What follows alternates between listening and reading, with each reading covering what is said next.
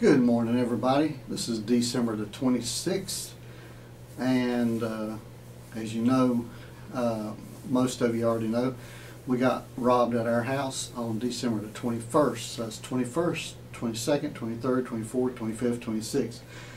So I know it's Christmas and people are probably on vacation, but this is day five, and uh, we've not heard anything from the Orange County Sheriff's Department. Nobody's called us and asked us one question um, since we got robbed. And, uh, uh, you know, we made out the report. We took the extra list of stuff up to the Orange County Sheriff's Office with pictures of the guy that robbed the house. And uh, hopefully they're working on it, but they haven't indicated to us that they're doing anything.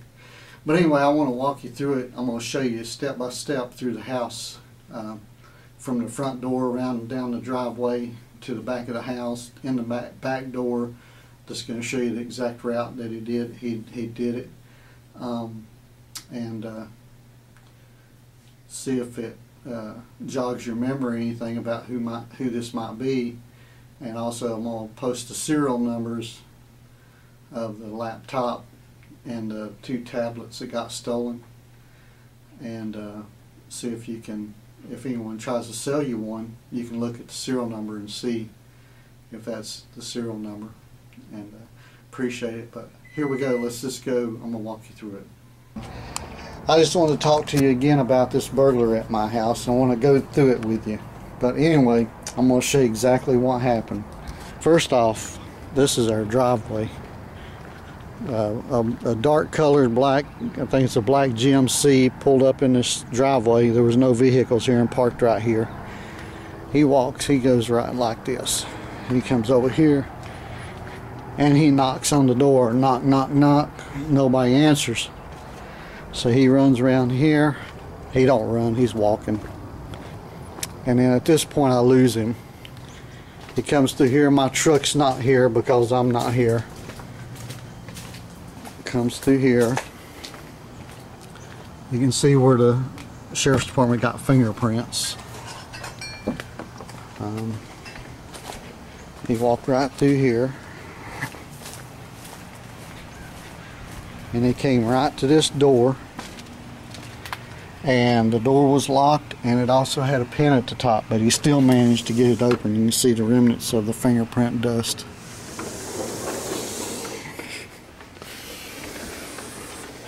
And uh, fingerprint dust there.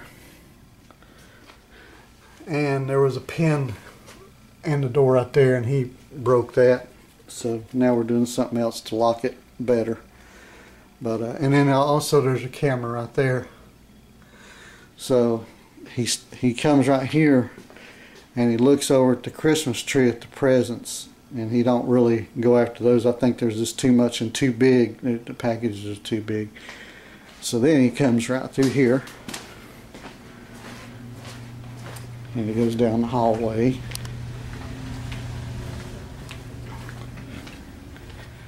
And he comes in here in the room and he tears the bedroom apart, turns it upside down, pulls all the drawers out of here.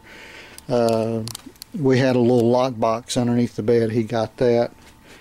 Uh, we had uh, bags of changing stuff in here. I'm not going to tell you exactly what all we had because we're working with the sheriff's department trying to get stuff back. But uh, now I had a piggy bank here. Um, I had a tip jar here with about $400 worth of change in it. Uh, in the change, it was probably seven, eight hundred dollars worth of change. And uh, oh yeah, uh, the tablet that was sitting here, a Samsung tablet. Uh, it was sitting on top of this charging. He took that. Uh, all this stuff. That's the thing, he went through some stuff. He went through all the boxes of my wife's jewelry and stuff and left a lot of the boxes and uh, took the stuff out of it. Um, broke the lid off that jewelry box. He went in here. I had my pain pills and stuff with prescriptions with my name on it. Took that. Then he comes back out here.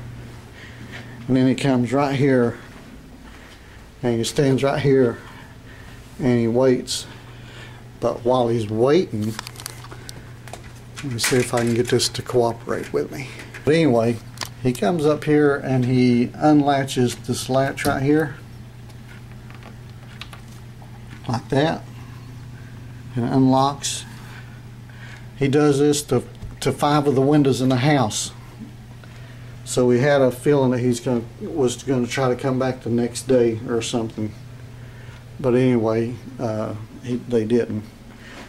So anyway, he stands right here and he waits for his ride. When his ride comes, he don't go out the front door that I can tell. Uh, because I don't know if when my daughter put the key in the door to open it, she didn't check to see if it was locked or not. I know they didn't go out the front door. Let me show you why. So he, come, he comes back out here. He's had to come back out here. He did not go out the front door. And he came back around here, going out this way. And then he just let that, let he didn't latch, the, the gate wasn't latched, he just left it. And then come down through here. And when he got right here, that camera took his picture right here. He had a backpack on and headed out to the car. I think they just pulled up out in the street. I don't think they. Uh, I don't think that they pulled back in the driveway the second time, and uh, and took off down the street. So, if you have any information about this, I got lots of pictures of the guy. Got pictures of the car. I'd appreciate it if you would uh, forward the information on to Detective Mike Young at the Orange County Sheriff's Office and uh, see if we can't catch this guy.